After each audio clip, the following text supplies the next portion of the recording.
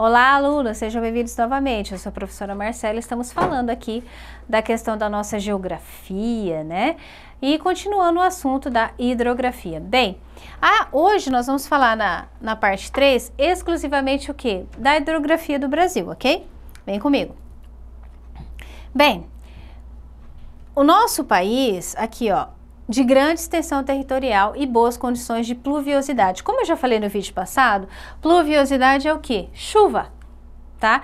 Então, uh, pela nossa localização aí no globo terrestre, que eu já falei para vocês, né, na zona tropical, uh, nós temos um índice de chuva, tá? Alto, ok?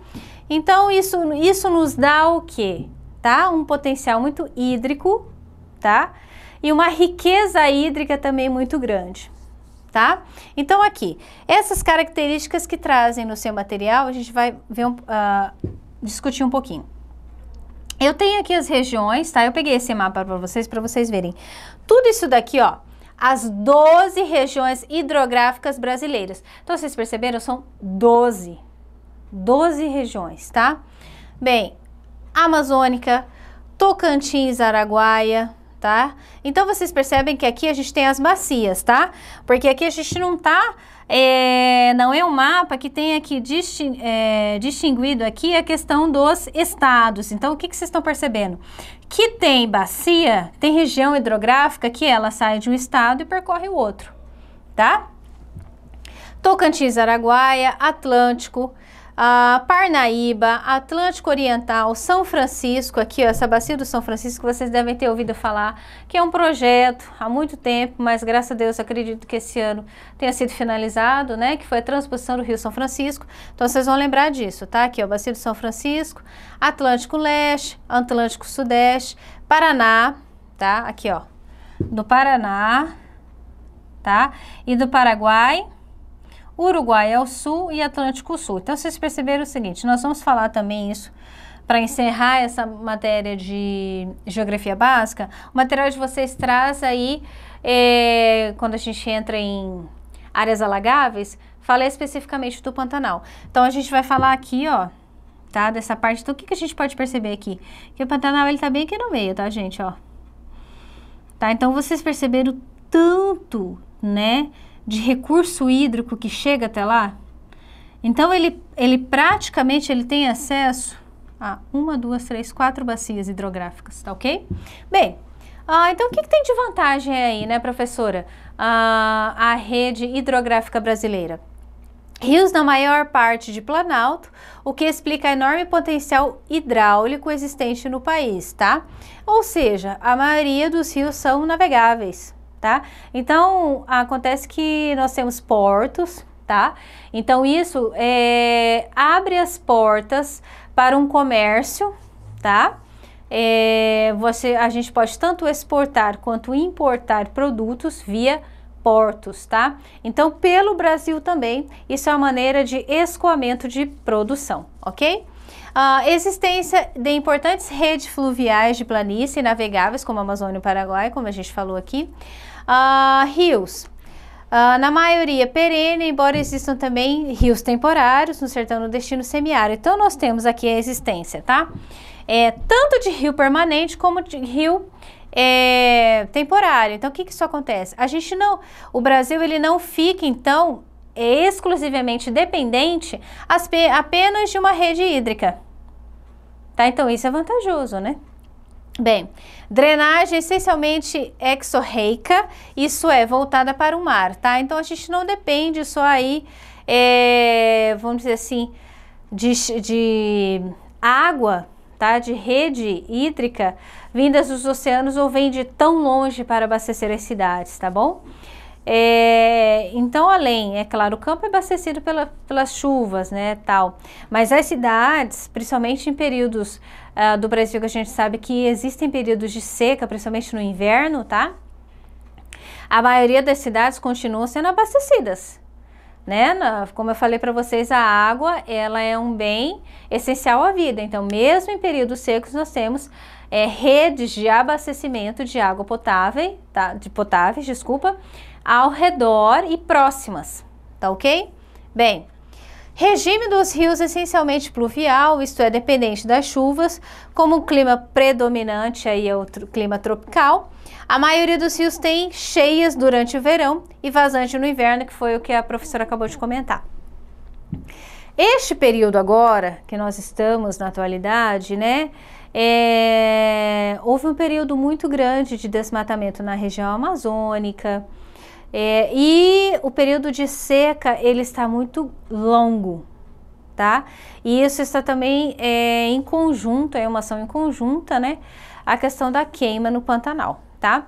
Então tudo isso é o que? Falta de chuva, estiagem e também a ação humana, ok? Porque a maioria dos focos, né? Você sabe que no cerrado existe sim a possibilidade uh, de surgir, né? devido à seca, um fogo ou a questão da queima natural, da natureza mesmo. Devido ao clima, exposição ao sol e tudo, podem surgir pequenos focos de incêndio de forma natural.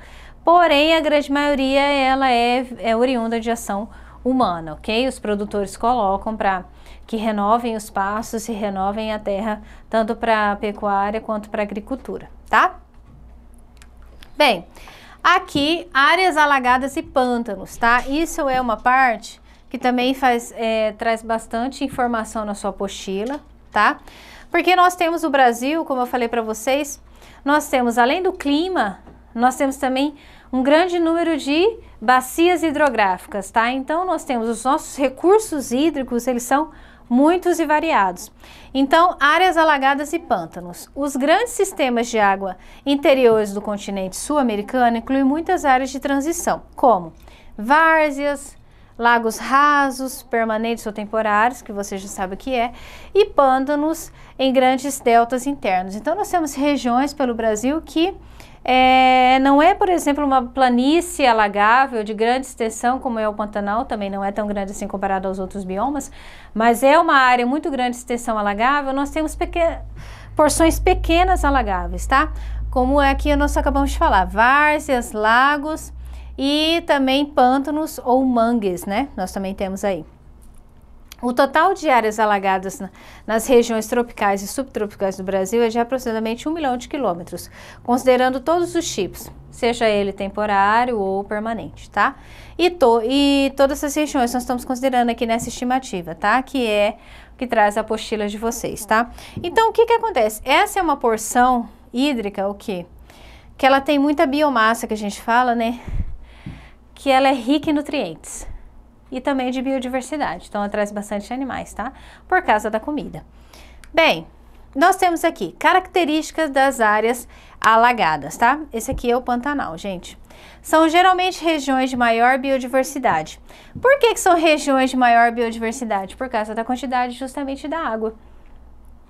Não é mesmo? Então você une a água em abundância, né? E o clima também quente. Então, ah, você tem aí uma proliferação tanto de é, flora e fauna, tá? Extremamente rica. Então, se aqui você tem uma biodiversidade muito grande, cada vez mais você atrai, a, atrai o quê? Animais, porque desde, desde os pequenos até dos grandes, porque se tem comida, né, os grandes animais, os animais de grande porte também vêm atrás. Então, quanto mais água, então o que, que você pode fazer a relação? Quanto maior a quantidade de água, maior a biodiversidade. Biodiversidade é a diversidade em flora e fauna. Tem muitas espécies, tanto de flora quanto de fauna, ok? Tem geralmente alta capacidade de denitrificação, que é a, a, questão de tirar o nitrogênio né, da água aqui, ó, e portanto funcionam como sistemas de redução de concentração de nitrogênio. São núcleos ou centros ativos de evolução. Por que evolução? Tá?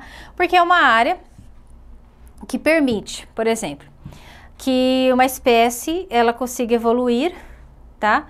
Consiga sair, por exemplo, de um estado de quase extinto, para que ela consiga se, se recuperar, tá? E também o ambiente, por exemplo, ele consegue, se esse, se esse ambiente aqui, ele for devastado, seja naturalmente ou pelas mãos do, humanas, ele tem uma capacidade de renovação maior que um ambiente, por exemplo, a, do árido ou semiárido, pelo, quanti, pela quantidade de água.